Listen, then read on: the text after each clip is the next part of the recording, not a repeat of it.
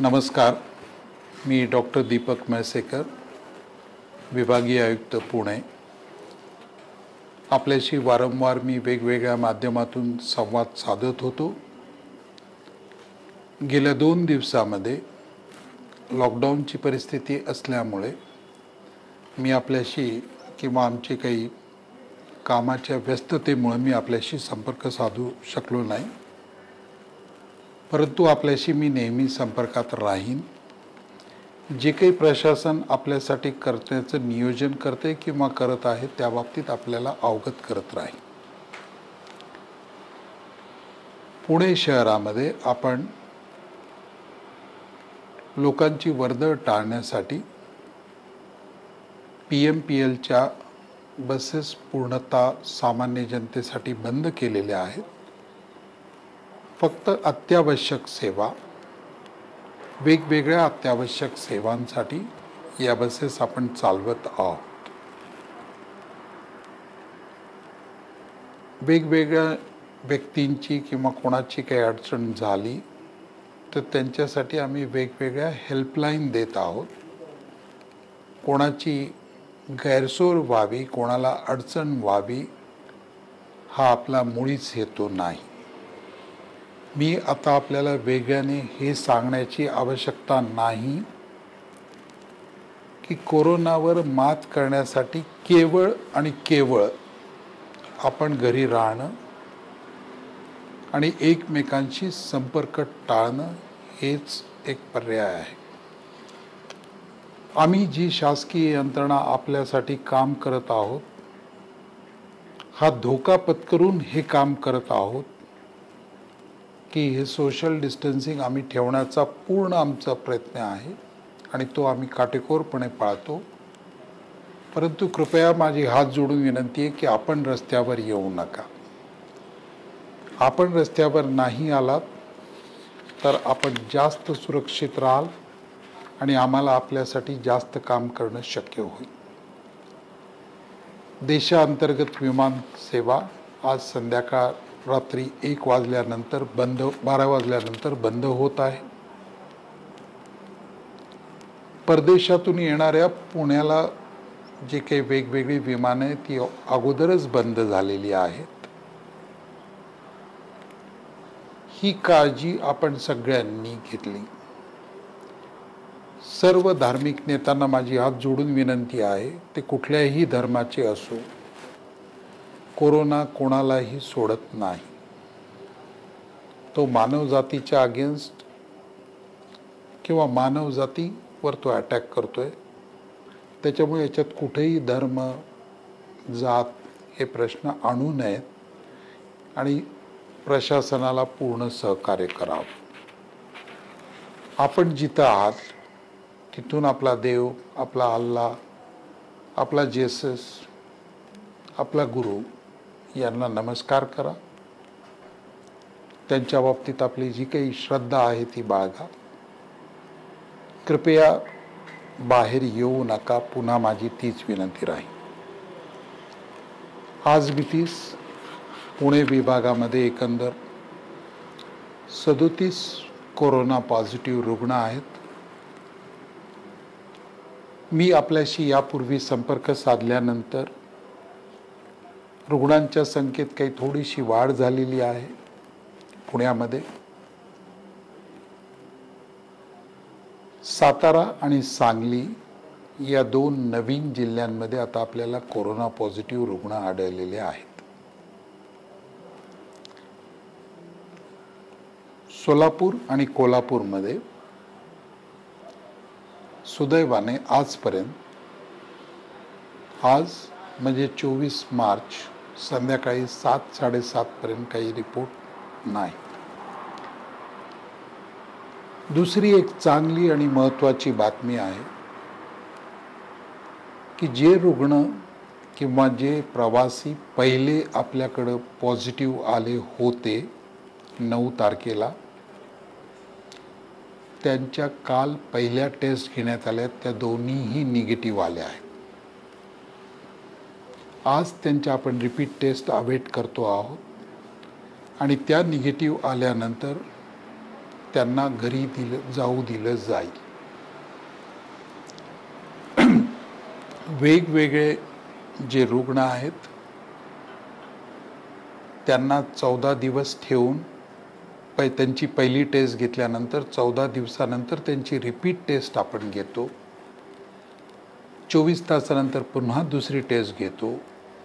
आणि या दोन्ही टेस्ट निगेटिव्ह आल्यानंतर आपण त्यांना घरी जाऊ देतो. पण महत्त्वाचं आहे की त्यांनी अजून एक चौदा दिवस घरी स्वतःची काळजी घ्यायची आहे. संपर्क टाळायचा आहे. आणि प्रशासनाला सहकार्य करायचे त्यांना स्वतःलाही पुन्हा आयसोलेशन किंवा याच्यामध्ये याची परिस्थिती उद्भवणार नाही. ही सर्वस्वी जबाबदारी त्यांची स्वतःची राहील. गेल्या दोन दिवसापासून लॉकडाऊन झाल्यामुळं काही जणांच्या अडचणी झाल्या असतील.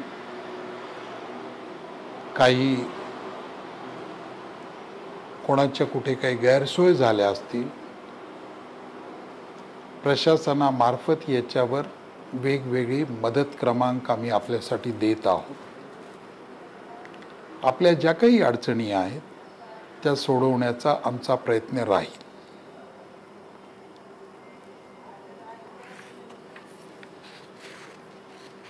ज्या वेगवेगळ्या हेल्पलाईन आहेत त्या बाबतीत मी वेगळ्याने सांगेन. परंतु प्राधान्याने रुग्णांना वेगवेगळ्या रुग्णालयांमध्ये जाण्यासाठी सुद्धा ॲम्ब्युलन्सेस उपलब्ध करून दिल्या जातील.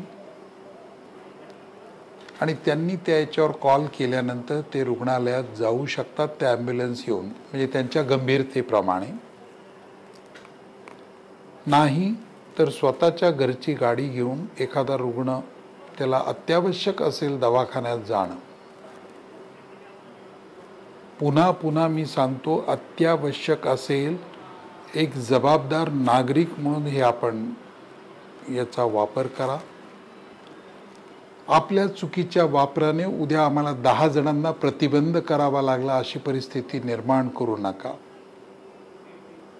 किरकोळ काही असेल तर जवळपास आपल्या सोसायटीमध्ये आपल्या संपर्कातले कोणी डॉक्टर असतील त्यांच्याकडनं आपण औषधोपचार घेऊ शकता. पण त्या डॉक्टरांच्या सल्ल्याने किंवा आपल्याला स्वतःला तसं वाटलं की आपल्याला जाणं अत्यावश्यक आहे तर त्यांनी विविध रुग्णालयात जावं.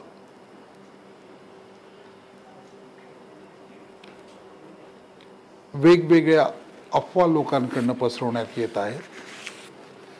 या अफवांना बळी पडू नये.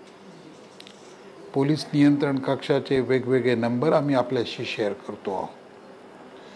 वेगवेगळे व्हॉट्सअप क्रमांक आहेत. त्याच्यावर आपण संपर्क साधू शकता. जीवनावश्यक वस्तूंसाठी काही आपण क्रमांक देत आहोत. त्याच्यावर आपण आमच्याशी संपर्क करू शकता. धान्य जे काही आपण गरीब अत्यंत गरीब लोकांना आपण केंद्र शासनाच्या अंत्योदय योजनेमधनं आपण किंवा प्राधान्यक्रमाच्या लाभार्थींना जे वाटप करतो ते वाटण्याची प्रक्रिया चालू आहे. मार्चचं जवळजवळ धान्य बहुतांश जणांनी घेतलेलं आहे. आज विभागामध्ये चोवीस हजार आठशे शहाऐंशी कार्डधारकांनी हे धान्य घेतलं. सर्व धान्यधारकांसाठी राज्य शासनाने तीन महिन्याचं धान्य देण्याचं ठरवलं आहे. एक एप्रिलपासून हे धान्य वाटप सुरू होईल. परंतु आपल्याला धान्य वाहतूक करायला अडचण होऊ नये किंवा त्या धान रॅशन दुकानामध्ये तेवढा गर्दी किंवा स्टॉक ठेवायला अडचण होऊ नये. म्हणून पहिल्यांदा आपल्याला दोन महिन्याचं धान्य देण्यात येईल. हे धान्य आपले जे काही ठरलेले जे दर आहेत त्या दरांनी आपल्याला दिलं जाईल.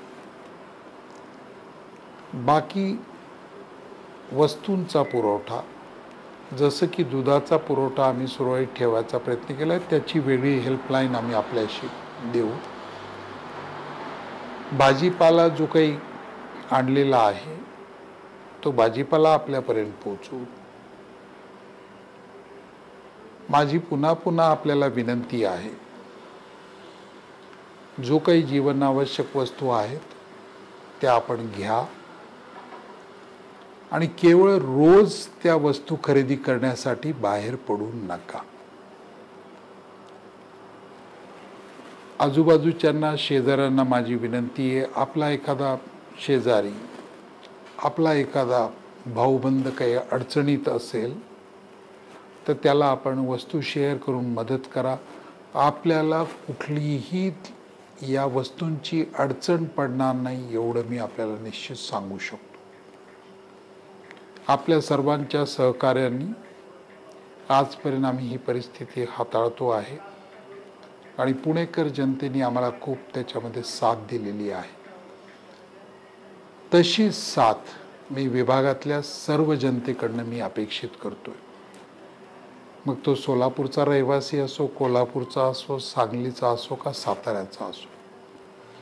अशीच अपेक्षा मला त्यांच्याकडनं आहे. तिथल्या आमच्या स्थानिक जिल्हाधिकाऱ्यांना पोलीस प्रशासनाला मदत करा. आपली सर्वांची मदत. या प्रशासनाला या अडचणीवर आणि या राष्ट्रीय आपत्तीवर मात करण्याला मदत करेल. पोलीस प्रशासनही प्रचंड तणावाखाली आहे. त्यांना आपण पूर्ण त्यांच्याशी मदत करा त्यांच्याशी सहकार्य करा. कुठे काही गैरसमज झाला कुठे एखादी काही घटना घडली तर पोलीस नियंत्रण कक्षाशी आपण संपर्क करा. आपल्या अडचणी किंवा आपल्या काही सूचना असतील त्यांचं निश्चित स्वागत आहे. पुन्हा एकदा आपल्या सर्वांकडनं सहकार्याची अपेक्षा करतो आणि या संकटावर मात करण्यासाठी आपण आम्हाला आजपर्यंत जसं सहकार्य केलं तसंच भविष्यात कराल ही अपेक्षा बाळगतो.